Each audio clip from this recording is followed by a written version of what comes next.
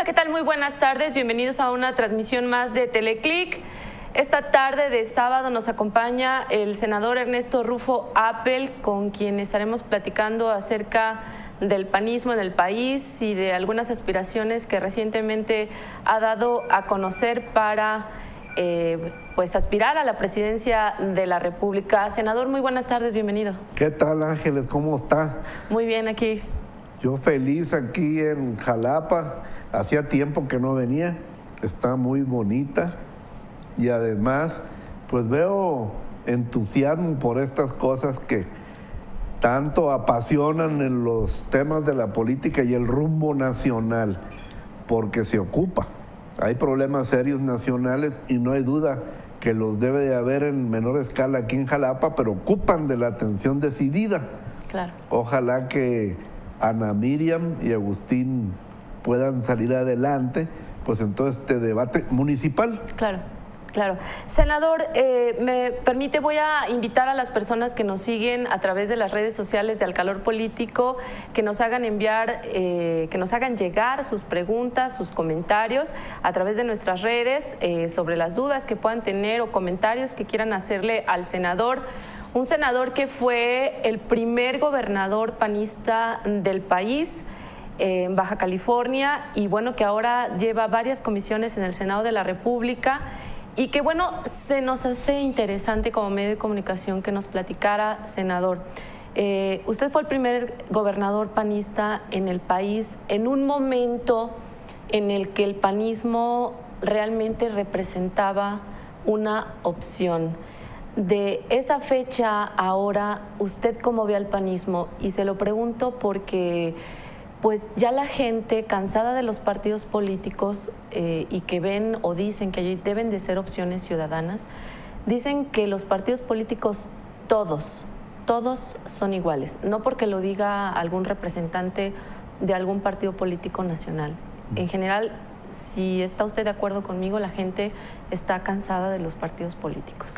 Yo creo, Ángeles, que todo este enojo que es real, lo has descrito bien, viene de una realidad nacional donde, porque somos muchos y pocas oportunidades, entonces nos hace ser pues más que muy competitivos, a veces por buscarnos una oportunidad a expensas de otros que quizás la merecen mejor, eh, nos debatimos de cierta forma un tanto, digo yo, feudal. Y esa razón, esa manera, viene desde cuando llegaron los españoles, no porque ellos hayan sido perversos, sino porque siempre ha habido escasez. Y bueno, cuando yo gano la primera gubernatura, me acuerdo que en Baja California en aquel momento éramos 750 en todo el estado. Un año después ya eran 10 mil. Y todos, claro, muy dados a la causa, muy comprometidos. Y tú ves los rostros y te acuerdas y dices, este señor me cuidó la casilla, etc. Pero en el fondo lo que está pasando es que muchos también van por un interés propio que es una oportunidad para ellos y para su, familia. Pues no te puedes enojar ante eso. Mas, sin embargo, esa llegada al poder por parte de Acción Nacional cambia la tesitura de un partido que estaba por la razón de la democracia, de la ciudadanía, de los valores primero que cualquier otra cosa, y te llega una avenida una arribazón de muchas personas nuevas y algunos pues naturalmente traen sus propios intereses. Y eso ha provocado problemas en acción nacional. Yo, de hecho, he sido un crítico desde adentro del PAN porque este fenómeno nacional de la escasez le quitó parte de lo romántico al PAN y lo metió en el realismo de esa necesidad interesada que hace que entonces se te agrupen intereses. Me recuerdo cuando yo ya terminaba la gubernatura y debería, pues, de Acción Nacional proponer un nuevo candidato. Yo no metí las manos dentro del PAN como gobernador. Sin embargo, ese personaje que era obvio que podía ser el candidato era mi secretario de gobierno del PAN. Yo soy más bien un ciudadano mexicano en el PAN. A mí me han apoyado mucho la ciudadanía desde afuera del PAN y el PAN me presta la boleta porque me ve eh, competitivo. Pero soy panista. Yo cuando firmé dije, ah, caray, yo ya era panista desde antes.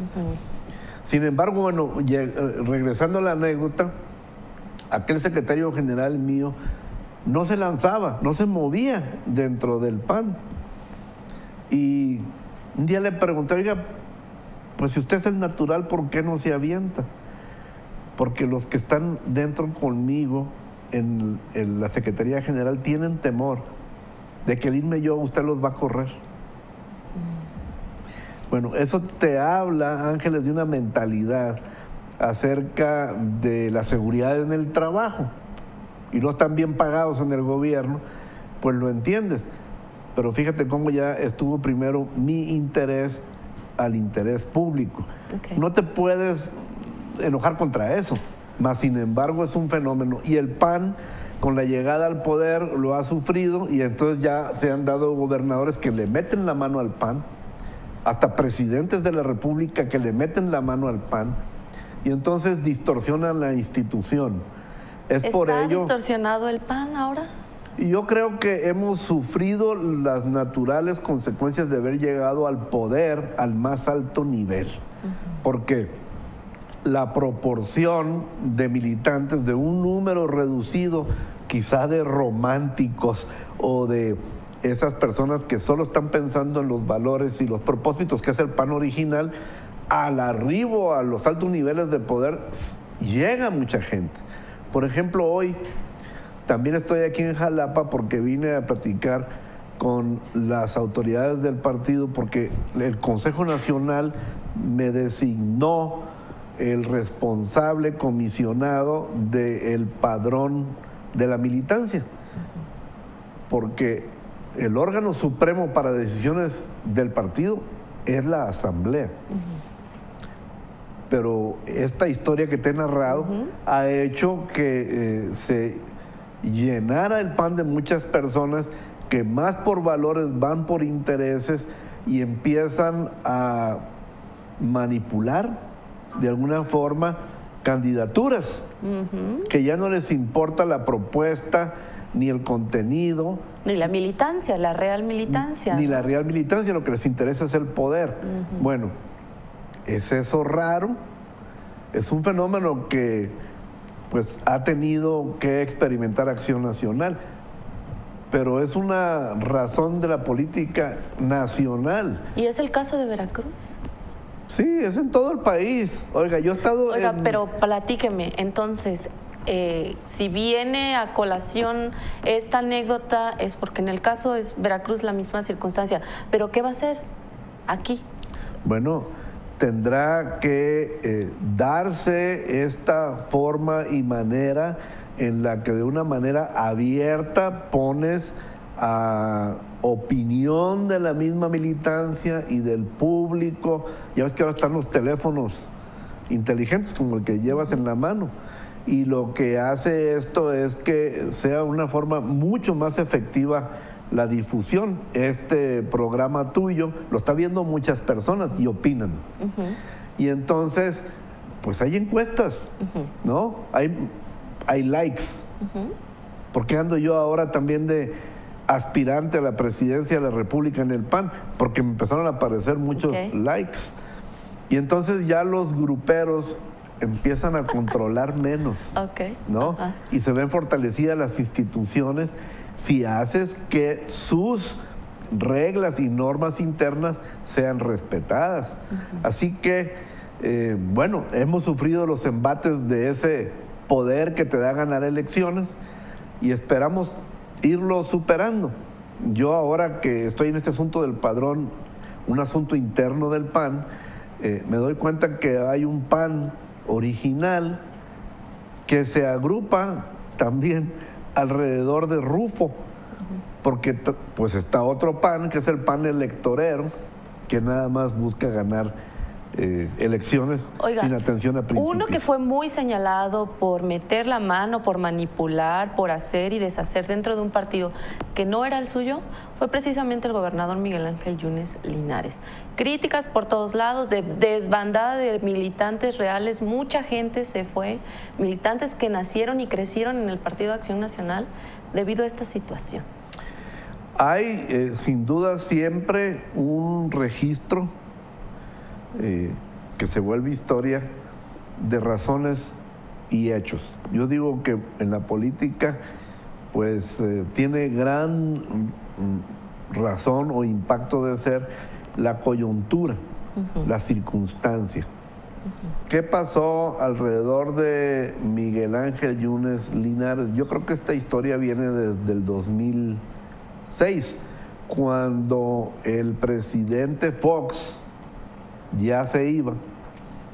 Y por sus maneras pues había empujado, yo creo que sin mucha necesidad, a el regente de la Ciudad de México en aquel momento, Manuel López Obrador, y las encuestas aparecía que era probable que el señor López Obrador ganara, y el PRI andaba muy mal. Acuérdense que pues eh, lamentablemente fue asesinado el candidato a presidente de la República, Luis Donaldo Colosio, en el 94. Eso tuvo impactos muy fuertes dentro del PRI. Así que todavía el 2006 no ataban pie con bola. Bueno, eso yo creo que provocó la coyuntura y la circunstancia, donde obviamente el presidente Fox, pues lo deseable para él es que el siguiente presidente de la República también fuera del PAN. Y él traía otro candidato, que era el señor Krill. Pero por ahí aparece Felipe Calderón y hace sus, eh, pues, eh, eh, legales o legítimas razones de querer ser candidato, en el PAN se vale, todo el mundo tiene derecho a votar y a ser votado. Y pues de alguna forma lo hace de una manera inteligente eh, y empieza también a tener eh, pues, ciertos apoyos coyunturales y circunstancias dentro de la vida de acción nacional. O sea, quiénes de los que estaban dentro del gobierno iban a tener continuidad con Krill y quiénes no.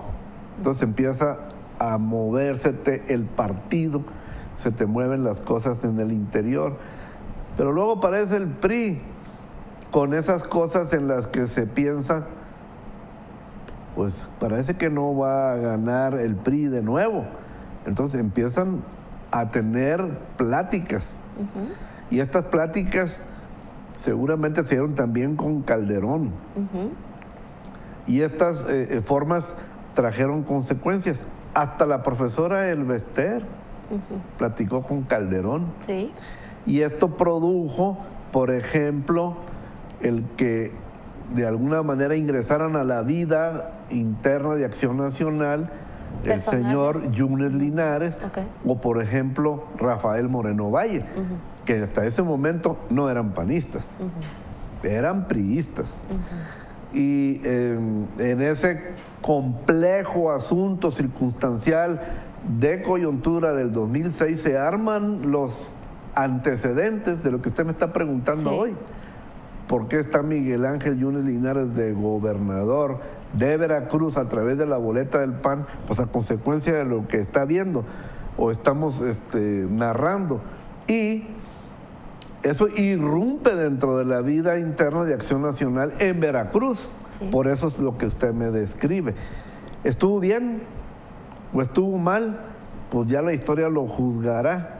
Ahora lo que vemos es que el señor Yunes Linares de una forma activa y decidida, está representando los intereses de Veracruz a través de una propuesta de este PAN que ha sufrido los embates de las consecuencias del realismo de la política a la que no estaba acostumbrado.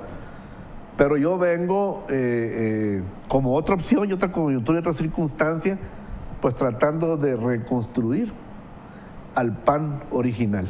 Muy bien. Dice Pedro González, ¿qué piensa del destrozo al país por parte del PRI por años y años? Y Beatriz Vargas, pues yo sí creo que todos los partidos son iguales. Hay gente valiosa y otros son más corruptos y descarados. También dice Beatriz Vargas, la trayectoria del senador Rufo es noble. Le pregunto, ¿qué opinión tiene que como cínico único para Jalapa vaya una persona inhabilitada por 10 años? Se refiere a Agustín Basilio de la Vega y vamos a platicar. A ver, primero, ¿qué opina del destrozo del PRI? Bueno,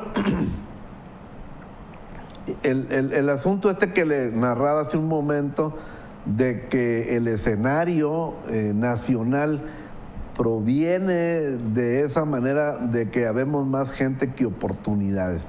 Y eso, pues no nada más en el PAN, en todo lado hace que haya jaloneo. Pero el primer partido eh, eh, que profesó estas cosas fue el Partido Nacional Revolucionario, el antecedente del PRI. Del PRI. Y este, eh, claro, nace con la Revolución Mexicana. Y ello hace ver pues toda esta dinámica política en donde muchas personas con necesidad eh, ponen hasta su vida y algunos la pierden en la revolución. Y en ello, en esos debates, aparece una manera y la dijo de una forma muy coloquial el general Obregón, que primero fue presidente de la República, pero luego lo quiso volver a hacer y es asesinado. ¿Pero qué dijo el general Obregón? Que quién habría de aguantar un cañonazo de 50 mil pesos.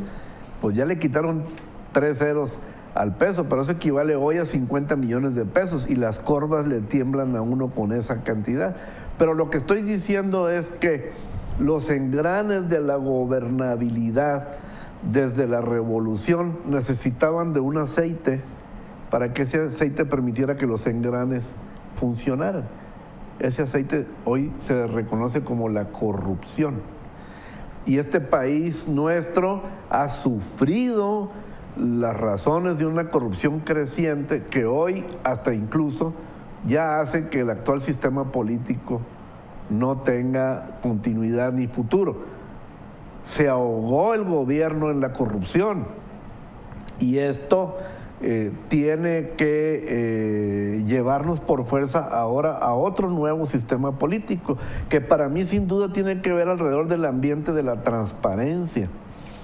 Yo por eso he dicho, quien llegue al gobierno federal y del Estado y municipal, pues tiene que, y yo lo digo por mí también, porque será mi compromiso de que si estoy en esa responsabilidad de presidente de la República, yo agarro el gobierno y lo pongo como si fuera una vitrina a la observación de toda la ciudadanía, pero necesito ciudadanos que vean, y que revisen y no continuar con esta actitud pasiva en la que nomás decimos, declaramos y nos quejamos, pero no tomamos un rol activo como mexicanos. Ese es el cambio político. Yo antes pensaba que era cambio de partido en el poder. No, está en nosotros, en nuestra propia actitud. Ya no podemos seguir siendo un pueblo pasivo, que nos acomodamos simplemente a que el que esté de jefe pues nos vea y nos ampare bajo su voluntad. Eso ya no puede ser. Tenemos que ser una nación realmente con responsabilidad cívica. Esos valores pues hay que enaltecerlos. Y ya asuntos particulares, lo que dijeron de Agustín Basilio. Sí, a ver, creo que ese es, una, ese es un asunto que tendría que tratarse de forma particular y para ello me voy a adelantar. Eh, nosotros como medio de comunicación estamos pensando en organizar un encuentro entre síndicos y eso me, atrevo a adelantarlo, no tenemos todavía nada firme. Sin embargo, esa será la ocasión y el momento en el que el exdelegado de la Secretaría de Comunicaciones y Transportes, Agustín Basilio de la Vega, pueda aclarar este asunto, si, me lo permite Beatriz. Eh, Joel Macías de Lara dice, Rufo es a quien se le debe que México cuente con la credencial de lector con fotografía, pues se le metió con camisa de fuerza a Carlos Salinas de Gortari en 1992. Bueno, Ángeles, es que habrán todos de ver, imagínense. Yo era alcalde muy asediado por el gobernador del PRI en aquel momento, pues eh, no había garantías de transparencia en los procesos electorales nacionales y sin embargo me animó tanta gente que activamente me decía yo le cuido las casillas. Y sí, pues había un ejército el día de la elección, cerca de 15 mil personas para 3 mil casillas, pues eh, eso hizo que eh, se obtuvieran todas las actas, los eh, notarios sorprendentemente registraron, certificaron las actas, y luego yo le di copia al ejército y a la Armada de México y al día siguiente a las 6 de la mañana en el escritorio del presidente Salinas estaban las actas de la victoria de Ernesto Rufo. Pero no con eso, pues reconocieron, entonces se pasaron dos días, hasta que Luis Donaldo Colosio eh, reconoció y de ahí en adelante siempre recibió presiones del PRI fuertísimas. Bueno, la tensión de todo eso te hace pensar cómo voy a evitar que esto vuelva, cómo vas a evitar que arriesgues a personas a un jaloneo, porque sí hubo intentos de violencia. Bueno, entonces, pues me aboqué a un sistema de credenciales y de padrones con fotografía. Me costó muchísimo trabajo instalarlo. Eh, me debatía con el presidente Salinas porque siempre me decía que él creía que no lo iba a lograr. Eh, cuando me dijo eso, lo reté a que juntos, gobierno federal y gobierno del estado, fuéramos a las calles a tocar puertas, porque yo ya no me encontraba gente ni por debajo de las piedras. El padrón que tenía los federales era de 1.300.000 y yo llegaba a 820.000 y ya no encontraba gente. Aún se resistía el presidente Salinas, hasta que un día en su oficina le dije, oiga, presidente, pues mire, entre otras cosas, resulta que el costo de esta credencial con fotografía, pues fue de 15 pesos. Y ya investigué y la que tiene en este momento el IFE en México vale 40 pesos. ¿Qué le parece si yo se la dejo a 25? Me gano 10 para el Estado y usted se ahorra 15 para la federación. Me dijo, oiga gobernador, ¿no le parece que se está pasando? Y le dije yo, medio sorprendido, porque la verdad yo se lo dije de una manera genuina e inocente. Yo sí quería credencializar a todo el país y me dice, no, mire, venga usted mejor la semana que entra. Tráigase todo, el rotafolio, el retroproyector, porque quiero que me explique. Y ahí voy cargando cosas yo eh, hacia la oficina del presidente. Un teniente de la Armada de México me ayudó. Llego a la oficina del presidente, se abre la puerta y ahí estaba todo el gabinete completo. Y me pide el presidente, a ver, gobernador, trae su credencial. Sí, señor, es esta. Bueno, ya me doy cuenta que resisto el virus de Salinas que se pegó a lo mejor aquí en esta credencial. Sin embargo, este es el antecedente de la credencial federal y los padrones con fotografía en México. Este es un esfuerzo ciudadano, democrático, a través del Partido Acción Nacional. Por eso es que nos sentimos orgullosos y hemos vivido tantas cosas. Nos robaban elecciones, nos golpeaban, pero miren que México ahora tiene procesos democráticos electorales. Muy bien. Senador, finalmente, ahora aspira a la candidatura a la presidencia del país por su partido. Son varios. ¿Cómo cree que pueda lograr esto cuando hay muchos que llevan una carrera por delante? Digamos, Rafael Moreno Valle, que está en todo el país, su publicidad, su libro, sus revistas, eh, Margarita, el presidente nacional del partido. ¿Cómo le va a hacer? Pues mire Ángeles, estoy confiado ahora en esos teléfonos inteligentes porque no cuestan nada y si usted sube cosas interesantes, obtiene público que lo lee. Así que, pues, eh, no tendré yo dinero para comprar tantos panorámicos para un libro tan exitoso como debe ser el de Moreno Valle, pues porque mire, que tiene todo el país inundado y no sé cómo le hará para tanto dinero y difundirse por tantas partes. Pero si tienes temas y propuestas interesantes, pues yo creo que puede salir adelante. Así que yo he emplazado públicamente a Margarita, a Moreno Valle, a mi compañero Romero Hicks, a el señor eh, rector de la Universidad de las Américas en Puebla, Luis Ernesto Derbez, en fin, a todos de manera de que incluso Ricardo Anaya, porque andan diciendo que a lo mejor también es él, entonces tendrá que definir muchas cosas. Eh, eh, y aquí yo creo que lo importante es ser propositivo